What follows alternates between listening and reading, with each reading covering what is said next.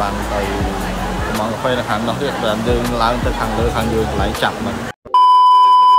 Hello សួស្តីបងប្អូននេះមកដល់លេហាងកាហ្វេនេះតាមជើងភ្នំនេះឥឡូវតន់ទៅដល់លេចាំមើលទៅទៀតចាំ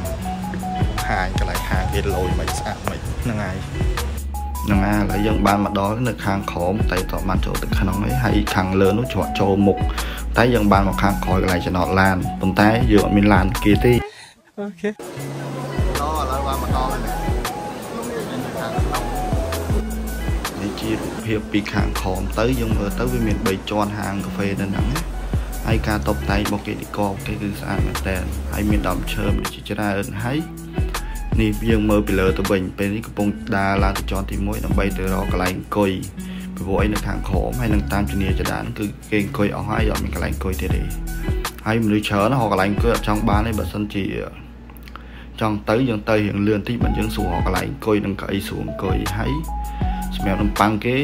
ឬក៏ខេកគេក៏មានច្រើនដែរមានច្រើនមុខច្រើនម៉ាកហើយសាឡាត់ក៏មានដែរហើយនំប៉័ងរបស់គេកន្លែងហ្នឹងគឺត្រូវម្ដងជួវែងណាមុំទៅដល់កន្លែងគិតលុយធម្មតាដល់កន្លែងគិតលុយយ៉ាងហោចក៏ចំណាយពេលអស់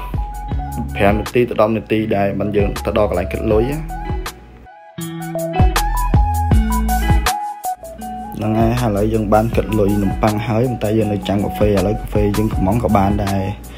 មានចំនួន3កែវអញ្ចឹងហើយនេះនេះជាអ្វីយើងបានកំងបានដើរហើសមិញហ្នឹងបានប៉ុណ្ណឹងបាននំប៉័ង3ហើយនឹងកាហ្វេ3កែវអញ្ចឹងណាហើយមានអ្នកឆ្លៀតលូតថតទៅក៏ដាក់ចូលហ្មងទៅកុំឲ្យខាតឥឡូវទៅវិញហើយហើយអូនតែប៉ុណ្ណឹងឯងបាយ